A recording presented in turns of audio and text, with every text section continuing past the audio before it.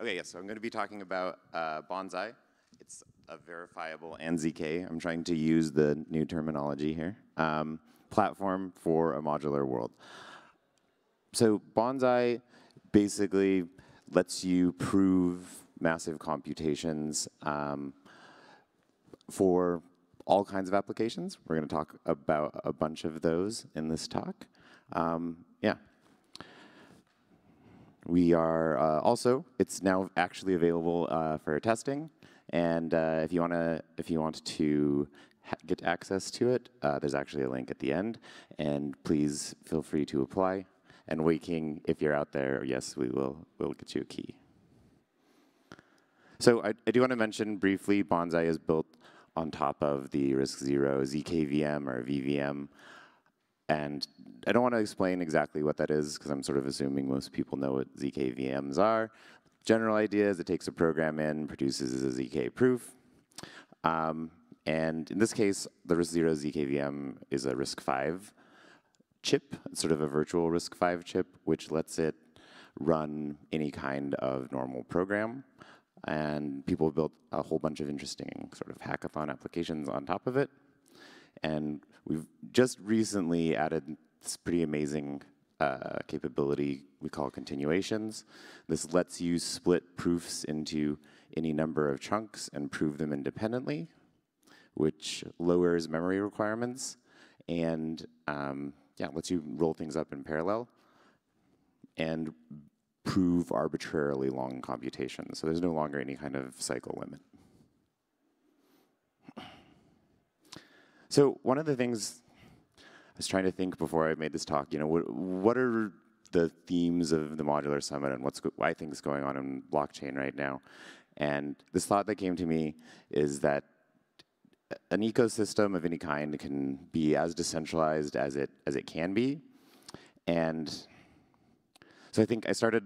Me and my friends started the first uh, the first makerspace in Seattle like 15 years ago, and the amount of sort of tragedy of the commons that went on in, in that situation and how difficult it was to manage, I really see it as a lack of collaborative tooling and ways to assign values to things that are you know a lot more fluid than the current tools at the time uh, supported. So I feel like the more we can all do to you know build capabilities in this ecosystem, and especially focus on ones that allow us to collaborate with each other, uh, the, the, more decentralized we can be, and the more we'll be able to benefit from uh, the advantages of those things. So these are things that, that I think the modular ecosystem benefits from, sort of roughly, interoperability, capability, the ability to you know, do anything and run multiple execution layers. Uh, diversity, having lots of different projects, different um, clients for the protocols that are out there, et cetera.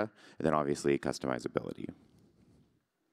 So Bonsai is a general purpose, verifiable, and ZK computing platform, uh, which turns out is very useful to sort of enhance the capability of any system or protocol to do those kinds of things. Obviously, ZK is a huge part of many of the interoperability projects that have come out recently. Um, and you can see how critical ZK technology has been for allowing multiple chains to actually communicate with each other in a low friction um, and efficient manner. Obviously, ZK has brought all kinds of capabilities to different ecosystems with all of the sort of ZK co-processing that's going on and the kinds of things you can do with Bonsai. Uh, you can build more clients with ZK, and uh, you can also build fraud proving systems uh, without doing any work, which I think lets people have a lot more agility when it comes to getting, you know, systems that might be too complex for ZK currently out onto the market in a way that, um, yeah, they can really serve their users. So all, all of the great things that you can do with ZK are obviously only useful if they're actually accessible to developers. So Bonsai is really focused on making the most advanced features in ZK and advanced cryptography available to all of the developers in the modular ecosystem across all blockchains and, and also off-chain.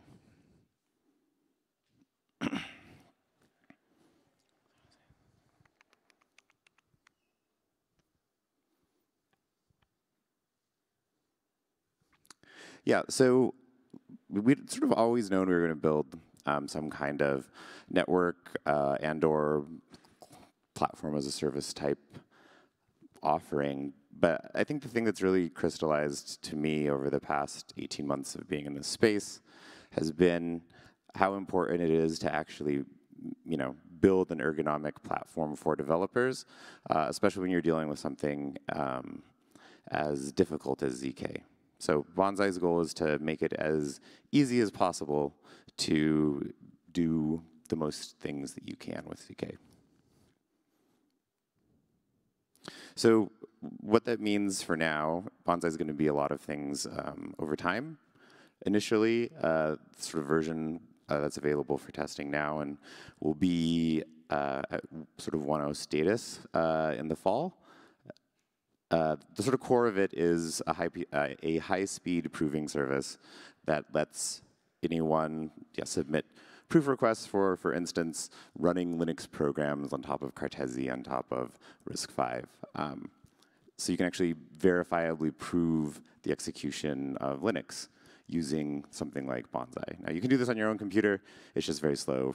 Uh, so Bonsai uh, has a much, like a very, very optimized machine in front of the singular executor part and then uh, can spread computations out to thousands of machines. Uh, and with that, very recently, I think the prior fastest RISC, uh, RISC-0 VM execution speed that we've seen was about 100 kilohertz.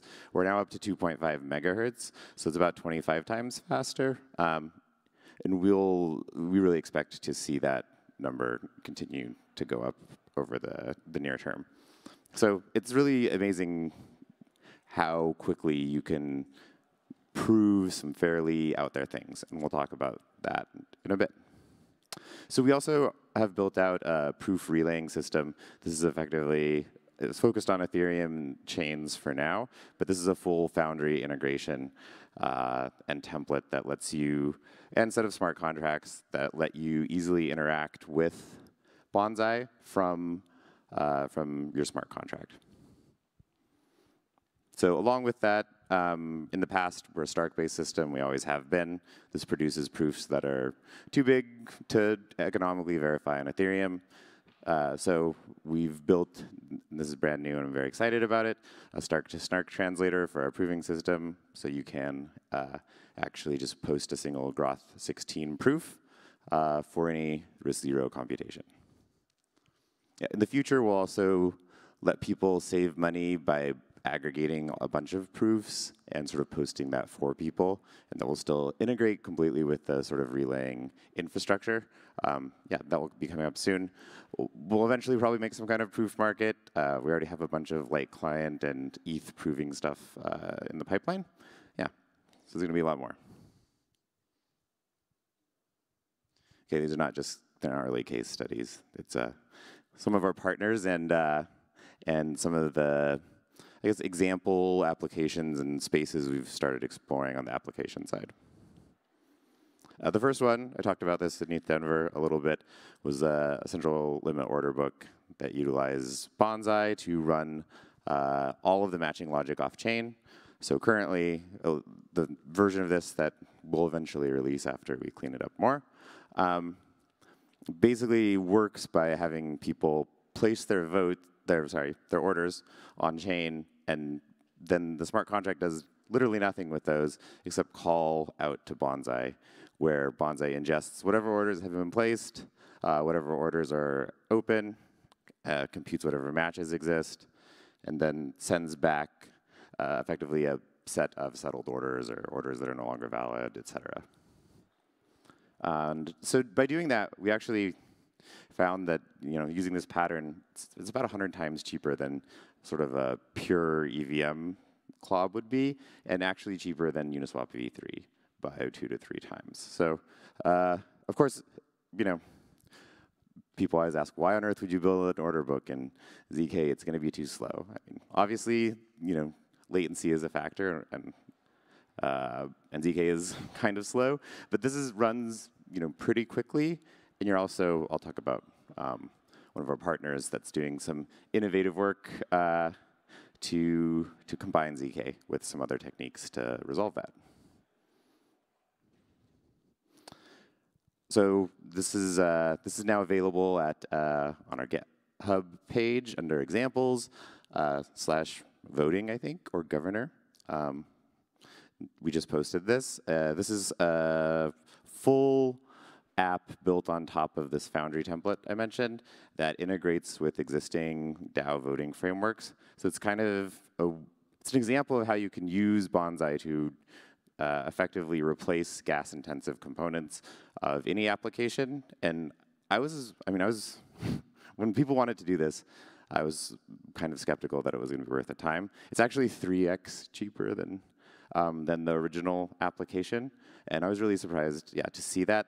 If you then take this kind of concept and start integrating something like Celestia to store your votes, you start to like reach the capability to do a bunch of things on chain that were difficult before, especially when you couple. Okay, with uh, with account abstraction coming online, I mean, there's uh, hopefully people have seen some of the amazing demos people have built with this. Um, I really think there's going to be a lot more capability to build applications that actually use blockchains and people use them. So I'm really excited about the ability to have more information from people in a sort of ZK and pseudonymous manner, uh, coupled with identity feeds from Sismo or anything like that. Um, yeah, so a nice thing about this, we were able to effectively build something that would interoperate with existing UIs and applications uh, in about three weeks with one person. Uh, so this kind of demonstrates the uh, efficiency gains of being able to use general purpose language uh, for your ZK development. And this is, this is a, a recent one that we've been very heavily working on um, as part of our, our proposal to Optimism to help them with uh, ZK, which I'll talk about in a second. Um, and where we've gotten to now is that you can run an entire Ethereum block. we, there's still like, this is missing some optimization for precompiles. But this is using an existing uh, EVM. I think we support revm and Sputnik, and uh, we'll support the rest uh, at some point as well. Um, and yeah, so you can actually run uh, an EVM that's been fully audited and is in use in many other places directly on top of RISC-0 now. Uh, it takes quite a while, like the two to four billion cycles. Yeah, takes about 15 minutes uh, on Bonsai. Uh, but that's going to go down uh, pretty rapidly, I think. So yeah, we're going to be in a place where we're looking at you know 20 cents maybe to ZK prove ETH blocks uh, for um, yeah, for full full-size ETH blocks without needing to even think about writing an EVM or about compatibility with um, other smart contracts.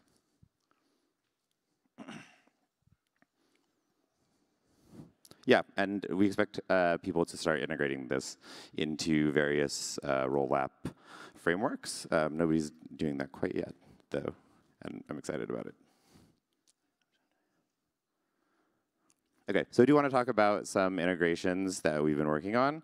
Uh, and this is sort of a general category here, and I was on a panel Monday, I think, and people, one of the questions was, uh, okay, it's you know, 10 years from now or five years from now, and ZK has lost to optimistic approaches, why, what happened? And I think, I don't think it's a, it's an either or kind of question at all. I think optimistic approaches coupled with ZK approaches um, can produce a lot of value for the user in terms of supporting livelier applications, um, and then obviously throwing ZK on top of that supports uh, fairly quick liquidity in and out of whatever sort of applications you're using. Um, so yeah, so Layer N, the team over there, actually built a sort of example of a, actually they're pretty far along, of a fraud prover uh, for their uh, order book. And they basically didn't have to do any work. You just run the matching engine yourself on data and produce a proof that you know the results that got posted on chain aren't the actual results. So this lets you run your order book or any kind of application sort of at the frequency uh, that you desire, and then gives an opportunity to kind of use ZK to, to tie it all up and give, give everyone confidence that everything's in the right shape uh, moving forward. And yeah, and indeed, this is a lot of what Optimism wants to do with the, their sort of ZK support for Optimism, very excited that uh, us, along with uh, the awesome team over at O1 Labs, were both selected to work on this. So very, very excited about that. Um, one of our partners uh, from sort of the earliest days of, of our company and theirs has been the Sovereign team. They're building the Sovereign SDK, which is a rollup framework that's highly aligned with the modular ecosystem. I really love what they're doing. Uh, they basically made a very sensible way to program blockchain applications pure Rust, uh, has tons of flexibility, and then they kind of take care of all of the difficulty of um, figuring out which parts of the modular stack to use, where, uh, and um, yeah, and which ones. So RISC-0 is going to be uh, one of their first adapters that actually supports doing ZK computations for uh, Sovereign apps. Very excited about that. And um, yeah, what else did I want to say?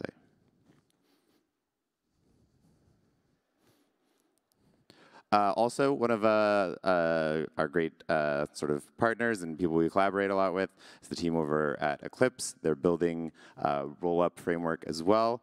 Uh, the work we did with them uh, so far has been limited to a pretty amazing project, which is turning, um, yeah, effectively doing ZK Solana executions by turning RISC Zero into an eBPF um, prover. So we got pretty far with that, um, and really looking forward to, you know, starting to give people the ability to migrate code from Solana to wherever they want it to run, or doing rollups on Solana, even though, you know, in theory you don't need them. So. Uh, one of the most recent uh, sort of hackathon winners, I think this was, yeah, this was at ETH Waterloo, um, built a really amazing and fairly, I wouldn't say it's not simple. I mean, they did it in a hackathon. And it's effectively a demonstration of using um, some new authentication standards along with ZK to let you immediately sort of make a wallet that's based on a biometric identifier. Okay, yeah, thanks. Two minutes? Um, yeah, so this lets you make wallets without worrying about seed phrases or anything like that. And you can see this as a sort of amazing entree into uh, making crypto accessible for a lot more people. And that's, um, yeah, that's pretty much all I have. There's a bunch of links here if people want to get to know more about Bonsai, what we're doing, and if you want access to the Bonsai API, you can go ahead and apply at that link up there. Thank you.